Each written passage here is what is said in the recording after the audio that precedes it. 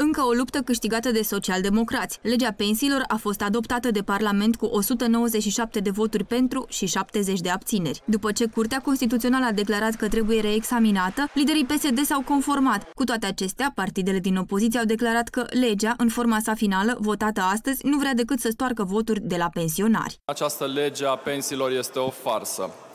Să-ți propui creșterea punctului de pensie cu 40% cu doar 3 luni înainte, alegerile, înainte de alegerile parlamentare din 2020 este o folosire în scopuri evident politice a fondului de pensii.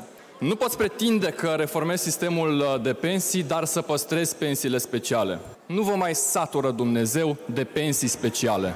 Deputații național liberali au susținut opinia parlamentarilor USR. Pensionarii săraci vor fi și mai săraci, iar cei speciale, ea bogați ai dumneavoastră pe care susțineți voi PSD-ul, vor fi și mai bogați. De cealaltă parte, fostul ministru al muncii Lia Olguța Vasilescu a declarat că legea actuală nu face decât să elimine inechitățile din sistemul de pensii. În primul rând că reduce toate inechitățile, sau mai bine zis, le elimină toate inechitățile din sistem. Este vorba de inechitățile între uh, femei și bărbați, așa cum, din păcate, se întâmplă uh, acum pe actuala legislație. Este vorba de inechitățile între persoane de același sex, dar care au ieșit în anii diferiți la pensie. În ceea ce privește partea de pensii speciale, cred că sunt importante niște precizări de făcut.